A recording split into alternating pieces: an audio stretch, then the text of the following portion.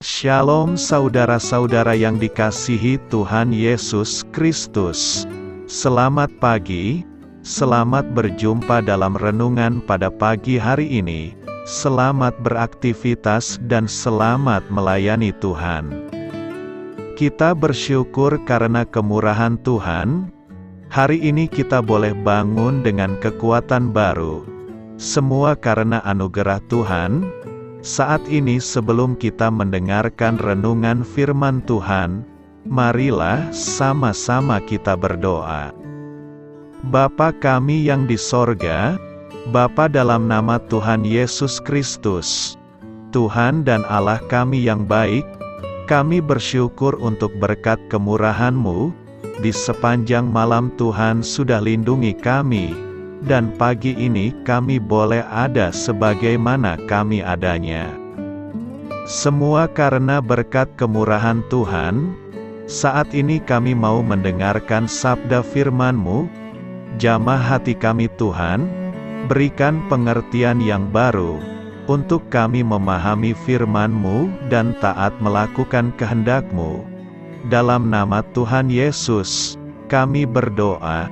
Haleluya. Amin. Sahabat suara kasih, ayat pembacaan Alkitab kita hari ini terambil dari Markus 10 ayat yang ke-17 sampai 27.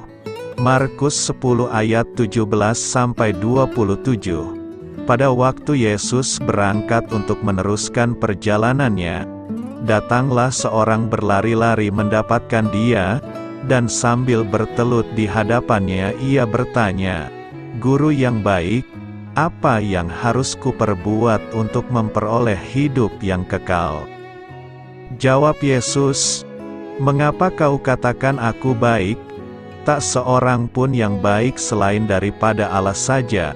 Engkau tentu mengetahui segala perintah Allah, jangan membunuh, jangan berzina, jangan mencuri, Jangan mengucapkan saksi dusta.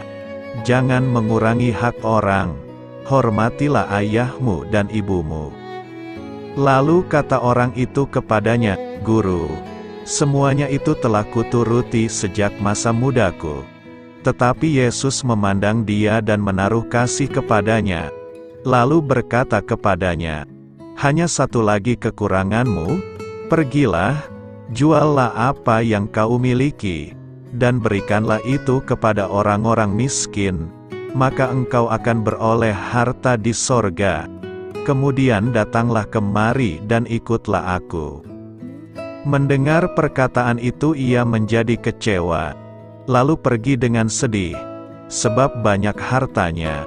Lalu Yesus memandang murid-muridnya di sekelilingnya, dan berkata kepada mereka, Alangkah sukarnya orang yang beruang masuk ke dalam kerajaan Allah. Murid-muridnya tercengang mendengar perkataannya itu. Tetapi Yesus menyambung lagi, Anak-anakku, alangkah sukarnya masuk ke dalam kerajaan Allah, lebih mudah seekor unta melewati lobang jarum, daripada seorang kaya masuk ke dalam kerajaan Allah. Mereka makin gempar dan berkata seorang kepada yang lain, "Jika demikian, siapakah yang dapat diselamatkan?" Yesus memandang mereka dan berkata, "Bagi manusia hal itu tidak mungkin, tetapi bukan demikian bagi Allah, sebab segala sesuatu adalah mungkin bagi Allah." Sahabat suara kasih, ayat emas renungan kita hari ini adalah Markus 10 ayat 21 sampai 22. Tetapi Yesus memandang dia dan menaruh kasih kepadanya. Lalu berkata kepadanya, "Hanya satu lagi kekuranganmu. Pergilah, juallah apa yang kau miliki, dan berikanlah itu kepada orang-orang miskin, maka engkau akan beroleh harta di sorga. Kemudian datanglah kemari dan ikutlah aku." Mendengar perkataan itu ia menjadi kecewa, lalu pergi dengan sedih, sebab banyak hartanya. Judul renungan kita hari ini adalah, Tuhan baik bagi hidup kita. Ditulis oleh Lori Sahabat suara kasih, suatu kali dalam perjalanannya, Tuhan Yesus bertemu dengan seorang pria kaya. Pria itu datang mengejar Tuhan Yesus hanya untuk mendapatkan jawaban dari pertanyaannya. Katanya, "Guru yang baik, apa yang harus kuperbuat untuk memperoleh hidup yang kekal?"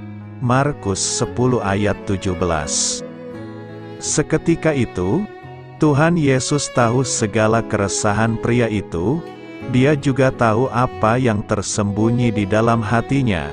Lalu Tuhan Yesus tahu bahwa dia harus melakukan perintah Allah. Namun pria itu mengaku telah melakukannya sejak ia masih muda. Mendengar respon sang pria, dengan penuh kasih Tuhan Yesus mengungkapkan, bahwa satu-satunya hal yang menghambat sang pria masuk ke dalam kerajaan Allah adalah harta. Lalu setelah Tuhan Yesus memintanya untuk menjual semua hartanya, dia menjadi kecewa. Jauh di dalam hatinya, dia tidak mungkin melakukan hal itu. Dari kisah pertemuan ini, Tuhan Yesus mengajarkan kita dua hal yaitu, yang pertama, tak seorang pun bisa diselamatkan meski sudah menaati perintahnya. Yang kedua, tak seorang pun akan selamat hanya dengan melakukan perbuatan baik. Sebaliknya Tuhan Yesus menekankan, bahwa keselamatan tidak diperoleh dari perbuatan baik, karena keselamatan adalah hadiah yang diberikan Tuhan, keselamatan tidak didasarkan oleh perbuatan baik manusia, melainkan oleh karena kasih karunia-Nya. Tuhan Yesus sendiri berkata, bahwa tak seorang pun yang baik selain dari Allah, yang artinya bahkan Tuhan Yesus tidak menyebut dirinya baik. Dia menegaskan bahwa dengan berbuat baik, dan membagi-bagikan uang kepada orang miskin, seperti diperintahkan di dalam hukum Taurat, keselamatan belum tentu bisa diperoleh. Seperti Galatia 2 ayat 16 mengatakan, Kamu tahu, bahwa tidak seorang pun yang dibenarkan oleh karena melakukan hukum Taurat, tetapi hanya oleh karena iman dalam Kristus Yesus. Sahabat suara kasih, hukum berfungsi untuk mendisiplinkan hidup kita, sehingga kita mau datang kepada Tuhan dan diselamatkan. Apakah Anda meyakini bahwa perbuatan baik Anda mendatangkan keselamatan hidup Anda. Marilah kita renungkan, kita hanya akan memperolehnya, dengan terlebih dahulu rela mati atas segala pelanggaran kita, sehingga Tuhan menghidupkan kita bersama-sama dengan dia. Seperti Kolose 2 ayat 13-14 yang mengatakan, Kamu juga, meskipun dahulu mati oleh pelanggaranmu, dan oleh karena tidak disunat secara lahiriah, telah dihidupkan Allah bersama-sama dengan dia, sesudah ia mengampuni segala pelanggaran kita, dengan menghapuskan surat hutang, yang oleh ketentuan-ketentuan hukum mendakwa dan mengancam kita. Jadi marilah kita renungkan, Apakah kita yakin perbuatan baik kita mendatangkan keselamatan? Amin. Tuhan Yesus memberkati. Sahabat suara kasih, demikianlah renungan firman Tuhan pada pagi hari ini. Semoga menjadi berkat bagi hidup kita, dan sebelum kita memulai segala aktivitas kita di pagi hari ini. Marilah kita berdoa, Bapa kami yang di sorga, Bapa di dalam nama Tuhan Yesus Kristus. Terima kasih Bapa, karena Engkau sudah menjadi Allah bagi kami. Kami juga bersyukur Bapa, untuk pertolonganmu, penyertaanmu, dan atas berkatmu di dalam kehidupan kami. Kami berbahagia dan bersyukur Bapa untuk kebaikanmu di pagi hari ini.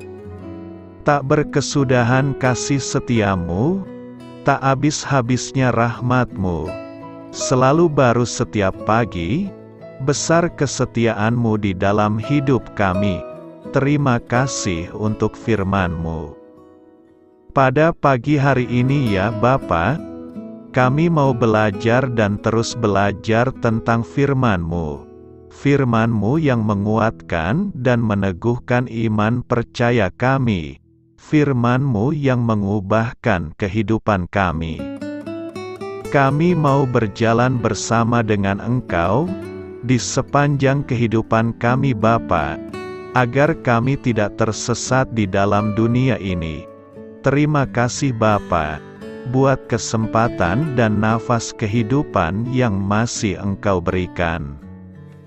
Kami mau memakai kehidupan kami, untuk hormat dan kemuliaan namamu. Segala pergumulan dan masalah hidup kami, kami serahkan di dalam tanganmu. Engkau yang akan menyelesaikannya bagi hidup kami. Kami hanya berharap kepadamu, Bapa.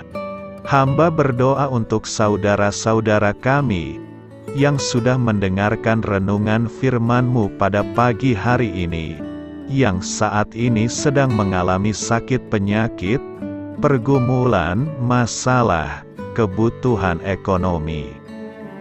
Kiranya Engkau yang jamah, sembuhkan dan pulihkan, berkati juga perekonomian mereka, serta berikan jalan keluar di setiap pergumulan masalah yang mereka sedang hadapi.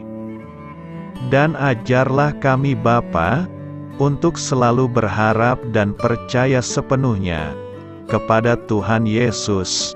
Kiranya Engkau yang terus memberkati kehidupan kami, keluarga kami, dan sanak saudara kami daerah tempat tinggal kami, bangsa dan negara kami, pemerintah-pemerintah kami, biarlah semuanya dalam perlindunganmu Bapa, dan jadilah sesuai dengan kehendakmu yang terbaik, di dalam kehidupan kami. Dan pada pagi hari ini ya Bapa, kami mau berterima kasih, buat perlindunganmu di sepanjang malam yang telah kami lewati. Pagi hari ini, kami akan memulai aktivitas kami sebagaimana mestinya. Kami yakin dan percaya, perlindunganmu tetap ada di dalam hidup kami, dan juga di sepanjang hari yang akan kami lewati ini. Terima kasih Bapa. Inilah yang menjadi doa dan permohonan kami. Dalam nama Tuhan Yesus Kristus, kami berdoa. Amin. Sahabat suara kasih, saya mengundang saudara sekalian untuk berdoa secara pribadi kepada Tuhan. Marilah kita sampaikan apa yang menjadi harapan, pergumulan, masalah, atau hal-hal yang sedang membelenggu hidup kita saat ini. Mari kita berdoa dengan penuh keyakinan dan penuh kepercayaan kepada Sang Pencipta, Pelindung, dan Pemelihara bagi hidup kita. Mari kita serahkan segala pergumulan kita dan harapan kita, sembari mengakui dosa-dosa kita dan berserah penuh kepadanya. Marilah dari kita masing-masing berdoa secara pribadi kepada Tuhan. Marilah kita berdoa.